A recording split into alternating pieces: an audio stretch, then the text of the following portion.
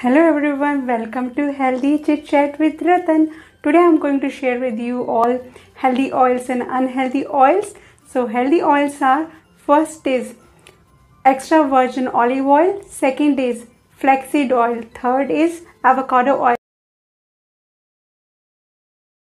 These oils are very healthy oils because uh, these are having monosaturated fats and good fats which are good for your overall health. So unhealthy oils are First is partially hydrogenated oil. Second is most controversial oil which is coconut oil. Third is palm oil. All of these oils are high in saturated fats. They, these are not good for your heart health as well as these are not good for your cholesterol level.